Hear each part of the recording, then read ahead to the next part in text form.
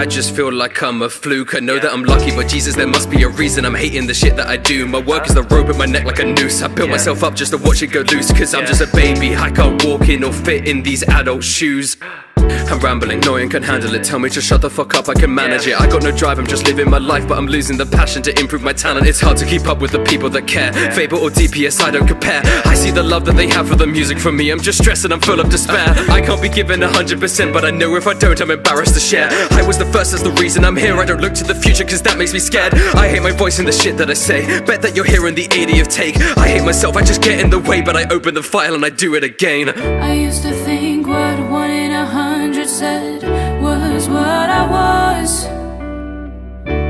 trusted no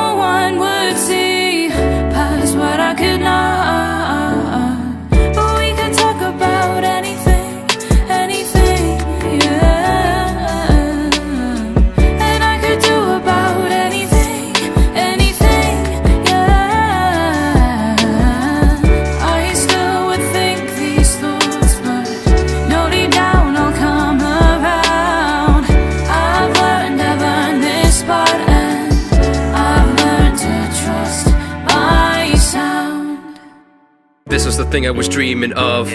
I cannot keep it up. I've made a lot of new friends, but I'm sorry I've struggled to keep in touch. I think I've seen enough, and honestly, I think it seems too much. I'll never be happy, I guess what I thought was my solace now eats me up. It is so obvious, I don't think any of my peers like the work that I do. I see the way that they hype up each other, but they would not care if I didn't have views. They would not care if I didn't have views. I'd be forgotten to tell me the truth. Yes, you got fans with the people who know what they're saying, ain't saying a thing about you. I know I'm pathetic, it just reconfirms the things I fear. They don't need to like me, it just makes my situation clear. Working for a decade and they're better in a couple years. Why do I still bother? Please just move along and leave me here. I used to think what one in a hundred said was what I was. Cause I trusted no